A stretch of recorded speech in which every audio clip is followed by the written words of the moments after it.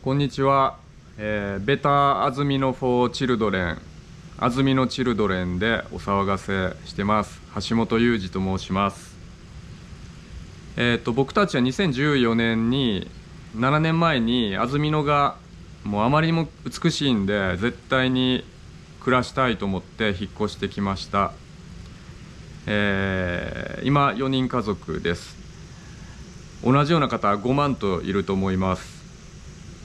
えー、一方で安曇野市あの皆さん意外と知らないんですが9年連続人口減少中です。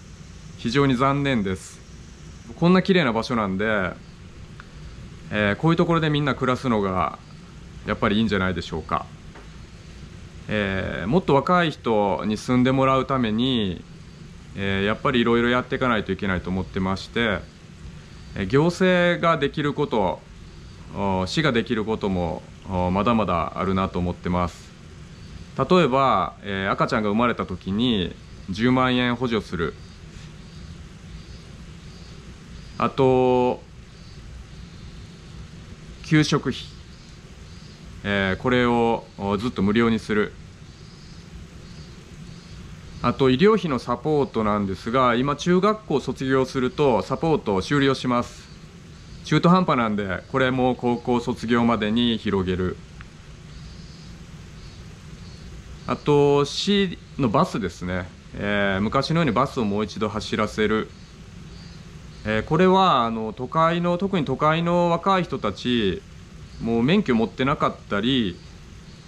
します。あと持っていてもペーパードライバーなんで、えー、運転が怖いっていう人がかなり大勢いるのでえ、本当に必要かと思います、え、地元のもうこちらに暮らしているご年配の方にも、え、間違いなく喜ばれるなと思っているので、えこの辺は用意しないといけないなと思います今言ったようなことを全部合わせても、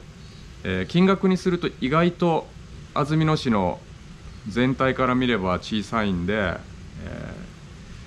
すぐやりましょうっていうぐらいな気持ちでいます。あの街が活気出ればあらゆる年齢層の皆さんきっと元気になると思うので必要なことはすぐにやっていきましょう。であの久々に晴れたんでぜひ緑を見てください。これが安曇野の豊かさかと思います。